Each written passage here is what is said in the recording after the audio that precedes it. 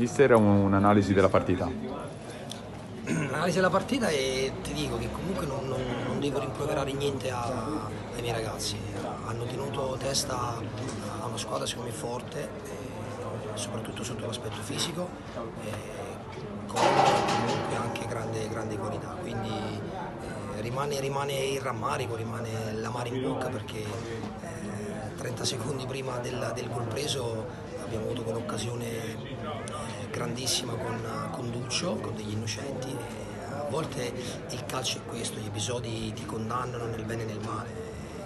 Però ecco, non ci dimentichiamo che, l'Inter eh, dal settantesimo in poi eh, diciamo, ha cambiato marcia, eh, ha iniziato a mettere questi palloni eh, alti dove magari noi fisicamente avevamo qualcosa in meno e, alla fine ecco, purtroppo hanno trovato, hanno trovato questo gol.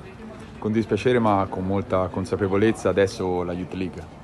Sì, sì, sono andato dentro dai ragazzi, gli ho detto a testa alta, a testa alta perché comunque non deve assolutamente portarci eh, negatività o mh, magari avere delle scorie per questo pareggio alla fine, ci mancherebbe, è successo spesso anche a noi di far gol negli ultimi secondi, negli ultimi minuti di una partita e oggi è successo eh, a sfavore. Quindi ecco, sono quelle situazioni che nel calcio ci possono stare, magari con un po' più di attenzione. Ecco. Eh, non far arrivare questa palla così libera uh, da farla cacciare nel, nell'area di, rigore, magari ecco, l'ultimo, proprio l'ultimo, gli ultimi 10 secondi quando il portiere eh, ha, battuto la rimessa dal fondo e anziché far giocare questa palla libera su un giocatore avversario potevamo stare quei 20-30 metri più su, ecco, forse l'unico pelo nel luogo, però ecco, non posso rimproverare niente a, alla mia squadra che secondo me ha fatto una, una partita molto importante contro una squadra forte.